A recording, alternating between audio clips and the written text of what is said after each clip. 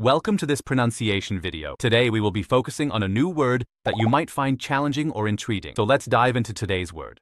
瑕疵， which means, Flaw in Chinese. let's say it all together. 瑕疵，瑕疵，瑕疵， One more time. 瑕疵，瑕疵，瑕疵。 Thank you for joining us on this adventure in pronunciation. Remember, language is a journey, not a destination. Keep exploring, experimenting, and expanding your linguistic horizons. We'll see you next time.